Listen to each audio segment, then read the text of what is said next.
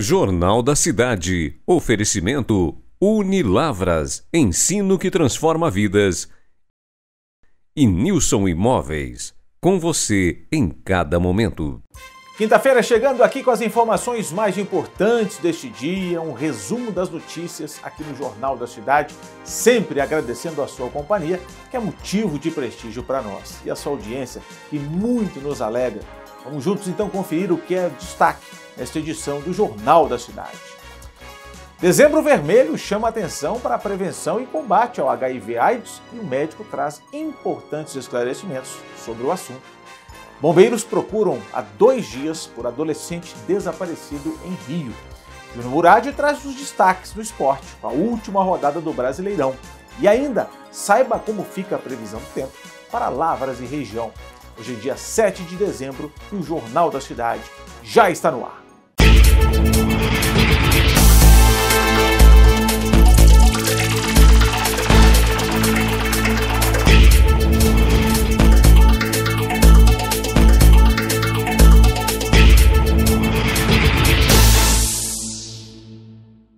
Dezembro Vermelho, a campanha instituída pela Lei nº 13.504, marca uma grande mobilização nacional na luta contra o vírus HIV, a AIDS e outras ESTs, infecções sexualmente transmissíveis, chamando a atenção para a prevenção, assistência e a proteção dos direitos das pessoas infectadas com HIV.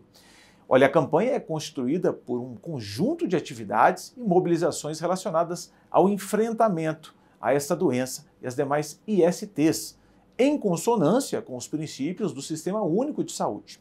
E para trazer informações, falar sobre este assunto importante, eu conversei com o médico Guilherme Dias. Acompanhe.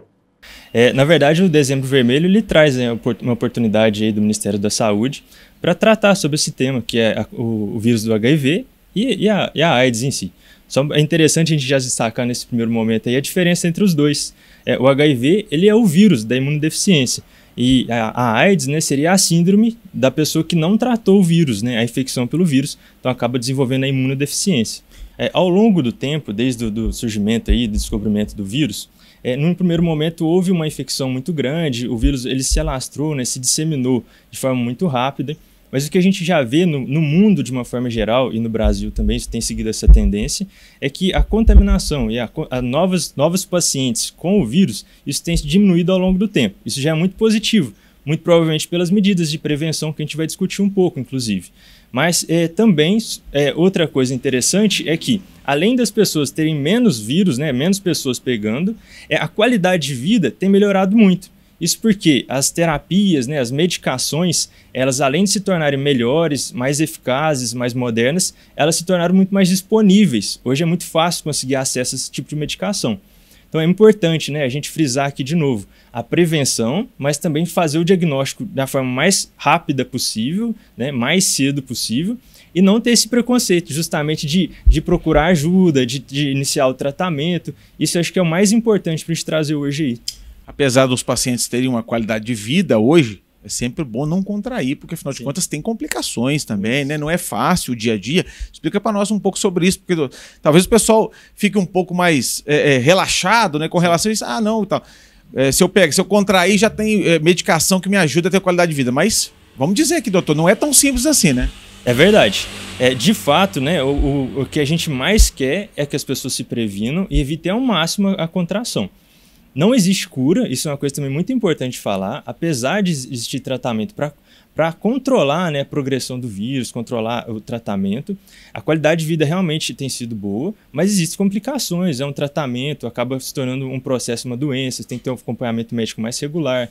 Então existem várias complicações possíveis de, de, de acontecer.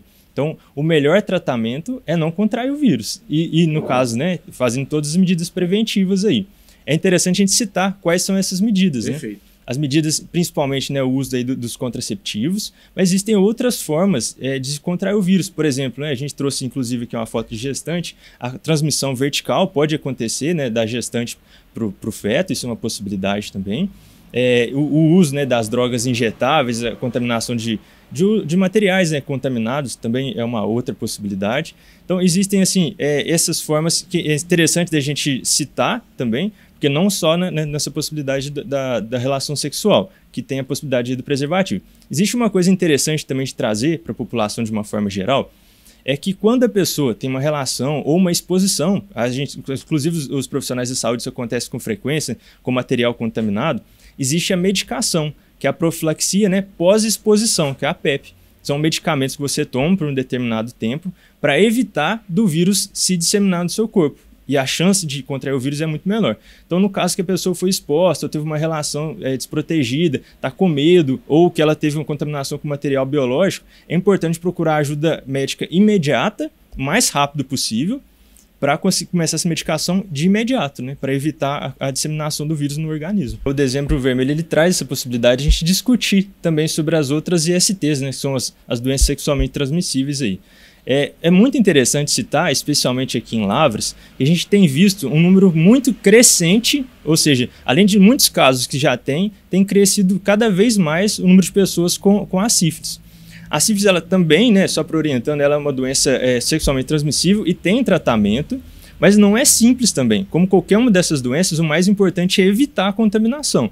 E a partir do momento que você contamina, você tem que seguir um tratamento. Existem vários problemas de saúde que podem ser trazidos, né? A disseminação aí, às vezes, para os ossos, até para o cérebro, em casos muito graves. E às vezes a pessoa não tem nenhum sintoma, como é do HIV ou da sífilis, né? Às vezes a pessoa não percebe nada no primeiro momento, deixa de procurar atendimento achando que está tudo bem e depois mais para frente vai fazer um exame e acaba descobrindo. É, é, importante destacar isso também aqui no município de Lavras, esse fluxo funciona muito bem, né? É, as unidades, os PSFs, todos eles têm disponíveis os testes rápidos para as, as ISTs, a gente cita aí, tem para HIV, para sífilis, para hepatite B e para hepatite C, que é disponível em todas as unidades, que é possível fazer de forma fácil. E além disso, às vezes, no caso, vamos supor que tem uma exposição pela madrugada, os finais de semana, que as unidades não estão disponíveis, a unidade de pronto atendimento, que é a UPA, tem disponibilidade de fazer esses exames e orientar.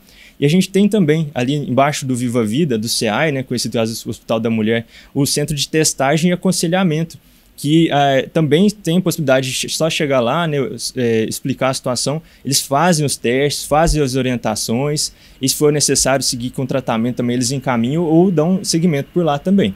Mudando de assunto, o Corpo de Bombeiros continua as buscas pelo adolescente de 14 anos que se afogou na última terça-feira no Rio Verde, em Varginha. De acordo com os militares, as buscas foram iniciadas já no dia do desaparecimento. Ainda segundo os bombeiros, uma equipe composta por três militares realiza as buscas com auxílio de um barco nas proximidades da estação de tratamento da Copasa, na região de Juriti. O tenente Paulo Estevam participa da operação e traz mais detalhes. Confira. Bom dia a todos. Sou o tenente Paulo Estevam do Corpo de Bombeiros de Varginha. Hoje estamos aqui na região do Rio Verde, onde nossas equipes estão prosseguindo as buscas do, da, da, vítima de afogamento, um garoto de 14 anos que sumiu na, na tarde de terça-feira e desde então o Corpo de Bombeiros está empenhado a fazer as buscas desse menor. Agora pela manhã foram feitas buscas de barco e agora nós traçamos uma nova estratégia numa parte onde o barco não consegue passar porque é muito cheio de pedras. A busca será feita na, na, nas margens do rio e depois na parte da tarde também vai fazer a busca embarcados em outro ponto do rio. Salientamos a todos que o Corpo de não está medindo os esforços com seu efetivo e recursos para fazer a busca dessa pessoa desaparecida. Hora do esporte aqui no Jornal da Cidade. Quem está chegando com as informações mais importantes desta quinta-feira é o grande Júnior Murad. Meu amigo, última rodada do Campeonato Brasileiro e tem definido então campeão mais uma vez o colecionador de títulos Palmeiras e o último rebaixado. Aliás, um time que ainda não tinha experimentado essa triste realidade. O Santos de Pelé, infelizmente, vai jogar a segunda divisão. É isso, Murad.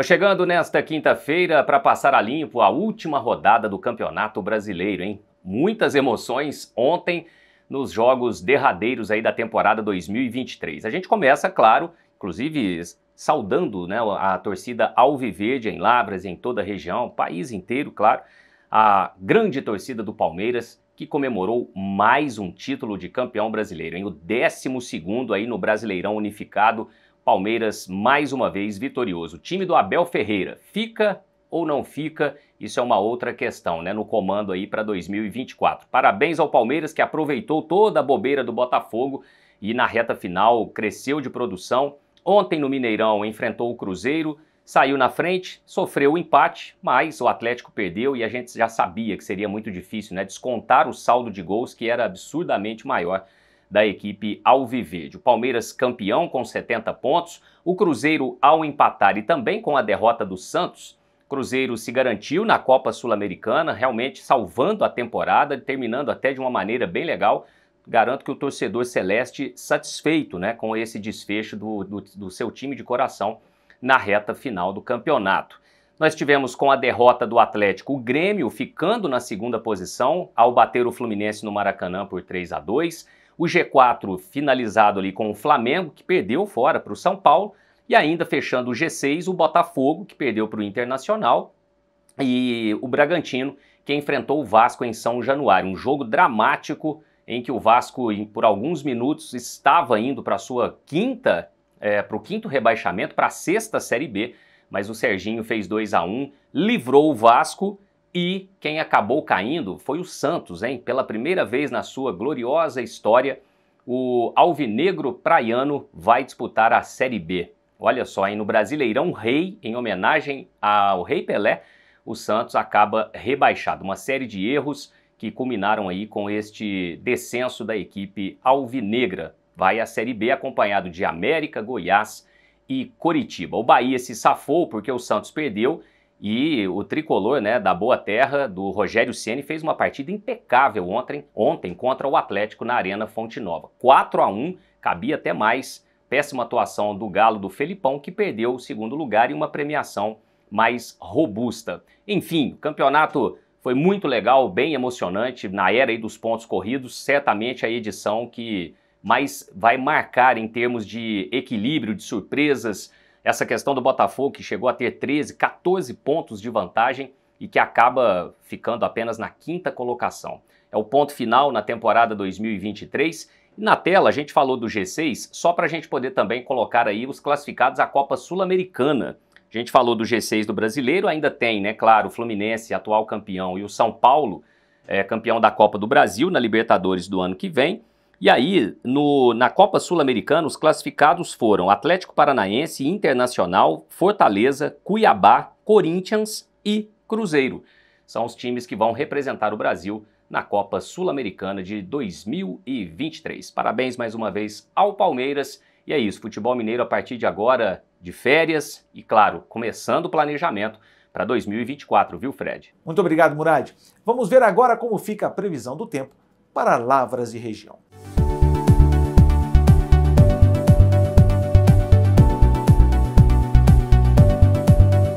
A sexta-feira terá sol com algumas nuvens. Chove rápido durante o dia e a noite.